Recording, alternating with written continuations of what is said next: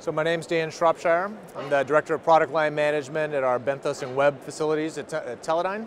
Uh, our group is the vehicle group, so we make a variety of different vehicles, including uh, gliders, AUVs, and ROVs. Um, we have an ROV here with us today uh, that we affectionately call our Franken ROV.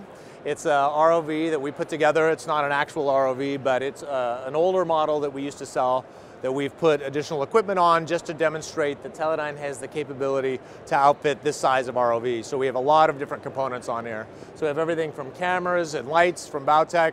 We have our BlueView uh, sensors for uh, doing imaging sonars. We have our smart flight unit here with our partner at Greensea that allows us to do autonomous uh, ROV actions.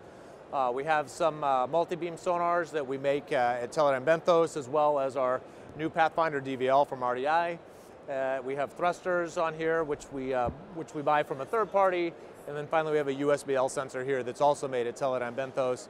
Uh, all of this equipment works together on a small ROV platform uh, to create good custom solutions, and Teledyne sells all this. So this is just an example of all the different types of components and equipment that we can put onto a vehicle. Teledyne Marine. Everywhere you look.